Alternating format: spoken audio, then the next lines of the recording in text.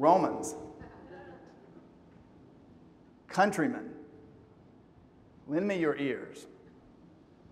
I come here to bury Caesar, not to praise him.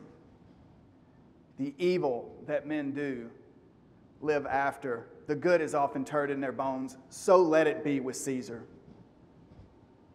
The noble Brutus hath told you that Caesar was ambitious. And if it were so, it was a grievous error, and grievously has Caesar answered it. Hey, y'all. Listen up. I'm here to talk about Caesar, but I ain't going to brag on the old boy. You see, we all, we know, we all tend to remember the bad stuff folks do to us, and we tend to forget the good stuff they do. Same thing with Caesar. Now, Bubba done told y'all that Caesar weren't no good. and, well, maybe Bubba was right. But ain't no sense in worrying about it now because Caesar, he done kicked it. I just said the same thing in two drastically different fashions. The first was, of course, Mark Antony's speech to the funeral crowd in Shakespeare's Julius Caesar, as was penned by the bard himself.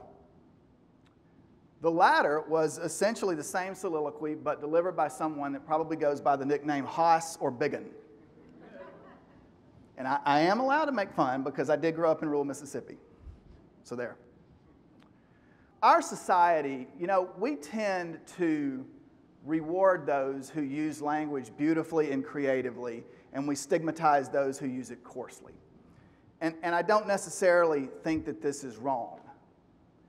Beautiful use of language, creative use of language, helps us to visualize abstract concepts it expands our cognitive capacity. Creative use of language, it really can. It really can spur innovation. Now, my fear is that as our world becomes ever more, ever more digitized and the need for creators of this digital content, the demand ex- increases exponentially. My fear is that we're doing a great disservice to our young people by not pursuing the same path in coding and computer science education that we have traditionally taken with language arts. And I say language and I stress arts. Yes, language is an art. If you have any doubt, I would refer to you to the spoken word performance that Atlas had on this very stage just a few moments ago. That was art. That was fantastic. That was absolutely fantastic. Yes, language is an art. And code, code is a language. Code is the 21st century common tongue. Code is understood the same in Nepal as it is in Nebraska. Code is the way that people communicate with machines and machines communicate with each other. Code is a language. And as we move forward, we're going to value people the most that can use that language effectively and use it creatively and use it beautifully. This is the concept of creative coding.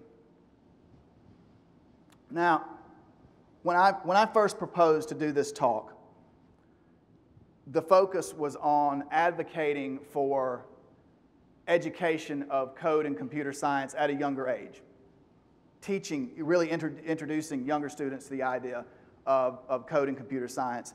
And true to the spirit of TED, this is absolutely, absolutely an idea worth spreading.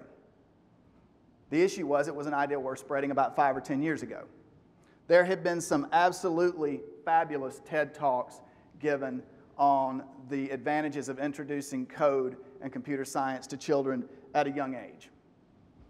Just as there have been some absolutely phenomenal TED Talks given on the necessity of reintegrating creativity into our education system. And you've even you've, you've heard several speakers on this stage today address that very same thing. And I will say that, that there is movement. There is movement in this direction, at least on the side of introducing code and computer science into schools. About half of the states in the United States today now count computer science as a core math or science. There is movement. You'll see stories around the nation of schools, sometimes elementary schools, actually holding their own hackathons. And I think this is absolutely incredible. Absolutely incredible. And, and while in many instances we're not introducing the concept as early as some of us would like, and we're not moving as rapidly as most of us would like, the inertia is there. We are moving in the right direction. So, my question here today is Are we moving in the right direction the right way? For the last several decades, our education system has, in general, shifted from one that concentrates on critical thinking, a classical liberal arts education, to one that is focused on a high degree of specialized, of technical specialization. And, and I will say that I don't think this was on purpose. I think that our education system has essentially become an elongated workforce development program. And I think that was in response to uh, the demands of the advanced, of the 20th century advanced industrial economy. And in those, in those terms, it actually did serve us well for a few decades. But today, today, we are faced with, probably for the first time, being competitive in a full fledged global knowledge economy. The first time. And our success in this knowledge economy is going to be hampered by a wall of our own construction. And what is this wall? It is the wall that our education system has placed between the critical thinking, creative aspects, and the technical aspects. A wall separating the technical from the creative. And I want to say, make no mistake about it, that this wall is as artificial, this wall is as artificial and economically oppressive as the one that once ran through the center of Berlin. So, how is this wall? How is this wall detrimental specifically to coding education, to digital product creation? Well, I, I want to just briefly, for example, explore a common education pathway to give you an idea. A student that's interested in graphic arts is likely to be put on a path in a graphic arts program. Same time, a student that's interested in coding, code development, is going to be probably shepherded into a computer science program that has a high, a high degree of focus on the technical aspects of code. Now, the graphic arts student will receive some exposure to coding, probably in the guise of website development. The computer science student will receive less exposure to the principles of graphic art and realistically, how much exposure do you think either has to creative writing? Not very much. Not very much. So, what's the result? This is the wall the wall between creative, the wall between technical. What is the result? Well, the result is all too often applications that may do wonderful things, but nobody can figure out how to use. Okay? We've all, we've all heard the joke about the user interface designed by the engineer or applications that are stunningly beautiful that don't work. We really have to bring down this wall, especially in regards to coding, education, and digital product development. Now, remember the overarching concept here that code is a language. We don't say we're going to calculate code we say we're going to write it. We don't ask who computated a certain program. We ask who is the author. By every definition, code is absolutely a language. And teaching the technical side without teaching the creative side of coding is tantamount to teaching a student how to diagram a sentence without teaching them what that sentence means.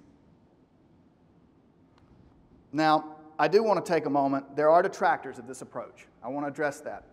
And, you know, let me stress everyone has an opinion. Everybody has an opinion. Some people will say, no, no, no, Tim, you're wrong. It's better to focus on one thing and to do that thing perfectly. And I will say that there are some instances in which a high degree of specialization is preferable. You do not want to find out that your proctologist is moonlighting in drywall repair. Am I right, doctor? It's preferable. Do y'all think moonlighting was a poor choice of words there or the perfect choice of words? That can also be referenced back to my earlier statement about everyone having an opinion, right? So, detractors of a creative coding program will also say that, you know, code, code is so specialized that it really doesn't need to be taught to a general population.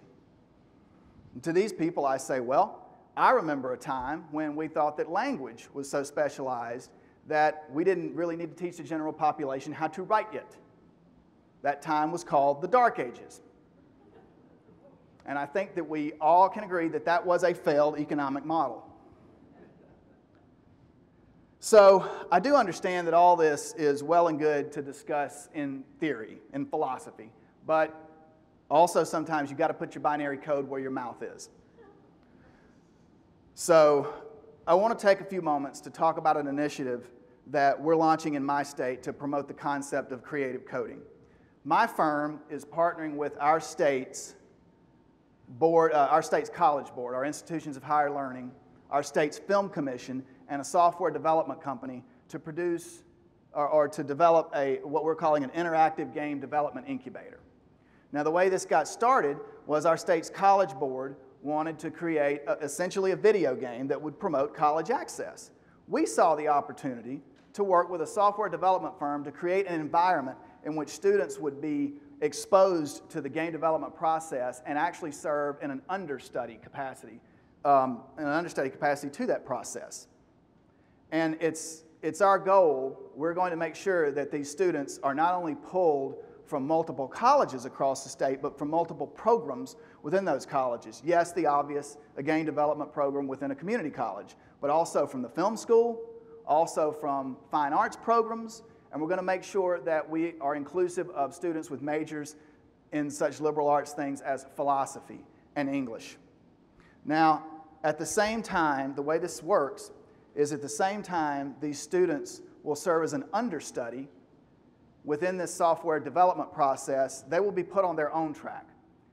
And their own track is to develop from concept to realization their own interactive application, essentially their own video game.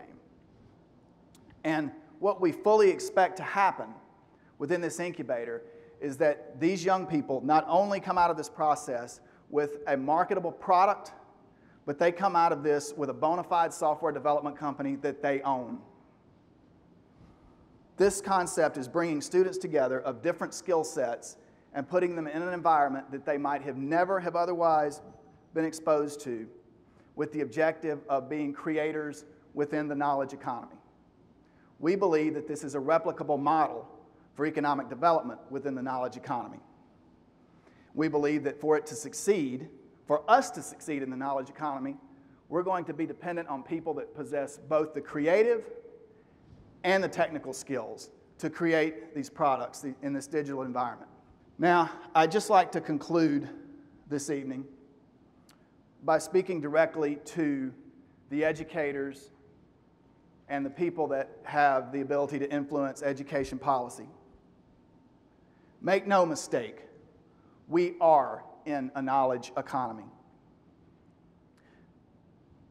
People that can work proficiently within that environment, they'll be good workers.